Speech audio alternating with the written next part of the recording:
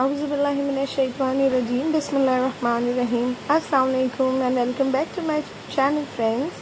कैसे हैं आप सब? उम्मीद है आप सब अच्छे होंगे। तो आज मैं आपके लिए लाई हूँ बहुत ही ज़बरदस्त स्पेशल रेसिपी, जो है चिकन सीख बिरयानी। चिकन सीख बिरयानी है ये, और इसे हम वाइट बिरयानी भी कहते हैं। इसमें बिल्कुल भी रेड कुछ नहीं डलता, ये वाइट बिरयानी होती है। तो चलिए शुरुआत करते हैं हमारी रेसिपी की। तो सबसे पहले बनाएँगे हम चिकन की सीख।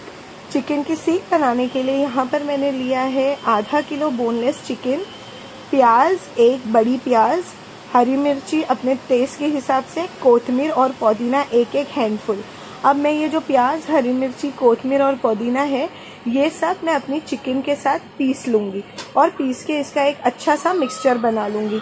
तो ये देखिए, ये मैंने प्याज, हरी मिर्ची कोतमीर पुदीना और चिकन, ये सारी चीज़ों को पीस लिया है। अब मैं इसमें अपने मसाले मिलाऊँगी।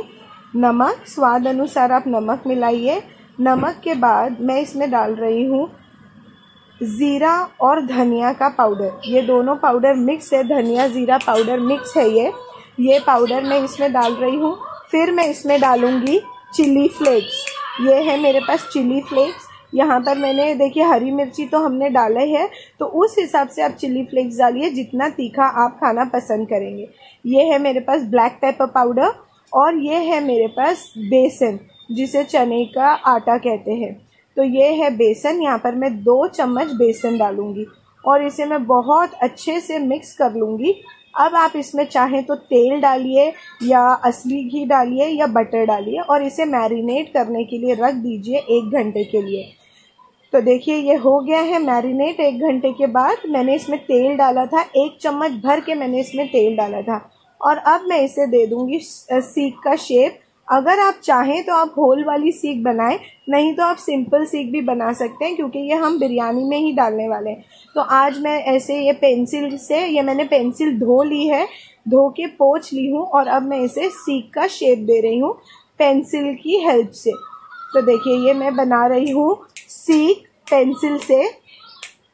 ये देखिए, ऐसे ही करके आपको सारी सीख रेडी कर लेनी है और आपको इसे आप चाहे बटर में फ्राई कीजिए, चाहे कॉम्बिनेशन बटर और तेल का कॉम्बिनेशन रखिए। मैं अक्सर सीख फ्राई करने के लिए बटर और तेल का कॉम्बिनेशन रखती हूँ।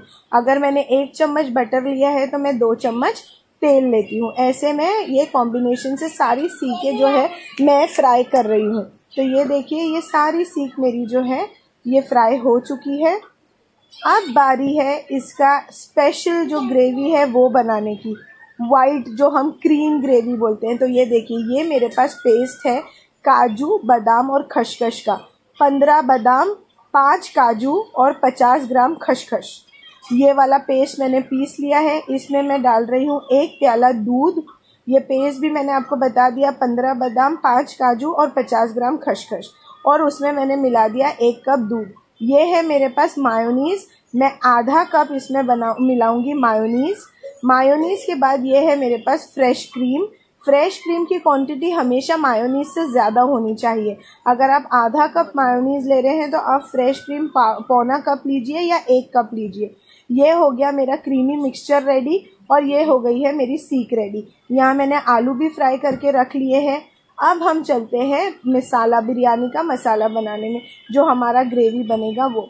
तो मैंने तेल में डाल दिया है ज़ीरा, तेज़ पत्ता, एक बड़ी इलायची डाली मैंने, एक दालचीनी का पीस डाला है, देखिए इतना एक इंच तक ऐसा दालचीनी का पीस, चार छोटी इलायची, और मैं इसमें डालूँगी लौंग और काली मिर्च।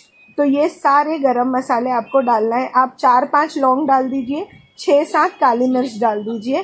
तेज पत्ता हरी इलायची, ब्लैक इलायची, ज़ीरा और दालचीनी, ये सारी चीज़ें आप डाल दीजिए। जब ये एकदम अच्छे से स्प्लटर हो जाए और आपको इसकी खुशबू आने लगे, उसके बाद आपको इसमें डालना है प्याज। मैंने तीन मीडियम साइज़ की प्याज मैंने इसको यहाँ पर ऐसे कट करके रखी है बारीक बारीक कट की है। स्लाइसेस नहीं किए हैं मैंने। अब ये प्याज आप इसमें डाल दीजिए और आपको प्याज को थोड़ा सा ब्राउन होने तक इसे आपको भूनना है। जैसा हम ब्रिस्ता करते हैं वैसा नहीं, बस आपको इसको ब्राउन करना है। तो आप इसे अच्छे से ब्राउन होने दीजिए।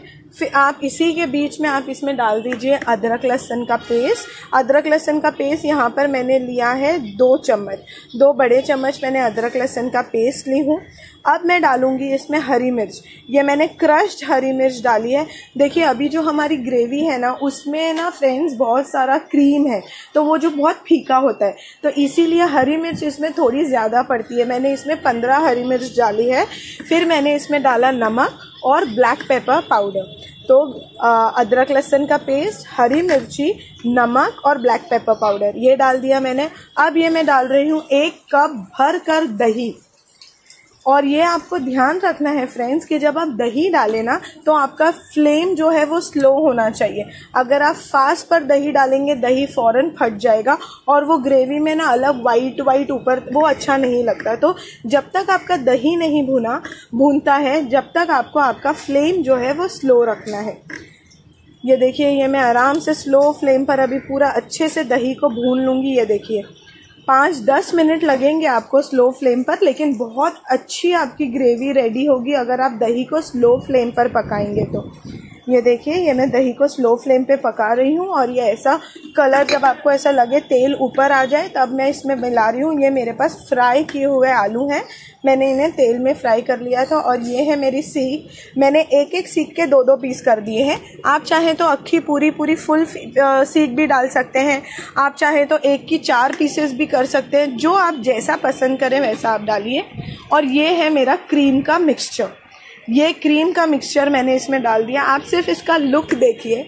ये इतना ज़बरदस्त क्रीमी ग्रेवी बनती है और इतनी टेस्टी बनती है ना इनशाला अगर आप मिर्ची का क्वांटिटी इसमें अच्छा रखना, अगर आपने मिर्ची का क्वांटिटी एंड ब्लैक पेपर और ये सारे स्पाइसेस क्वांटिटीज़ है ना, आपने अच्छे से डाले जैसा बताया है तो ये वरना ये फीकी हो जाती है।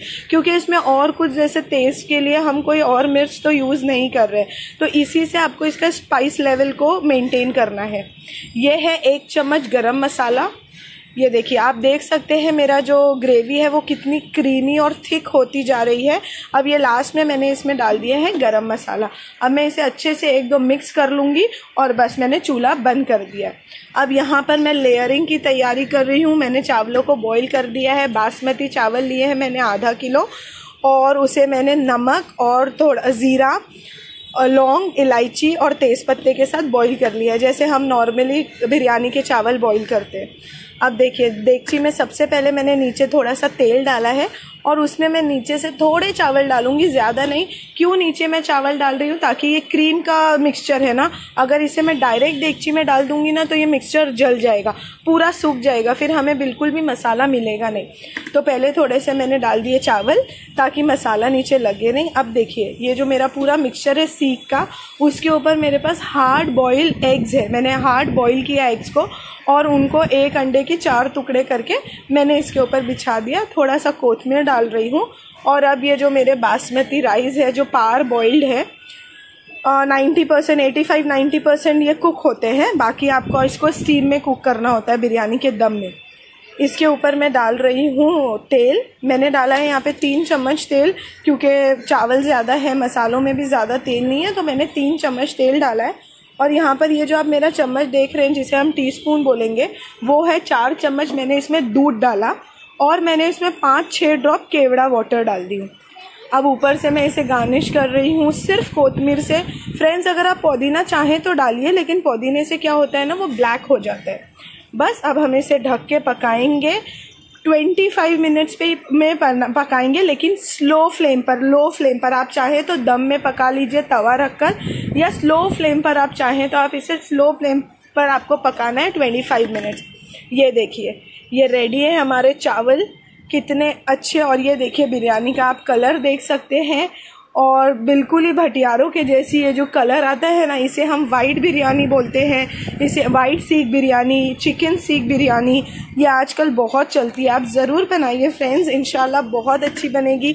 सर्व कीजिए कचुम्बर के साथ और शेयर कीजिए, मुझे कमेंट कीजिए कैसी लगी आपको आज की रेसिपी चैनल को लाइक कीजिए सब्सक्राइब कीजिए। फिर मिलती हूँ आपसे इनशाला तब तक के लिए अल्लाह हाफिज़।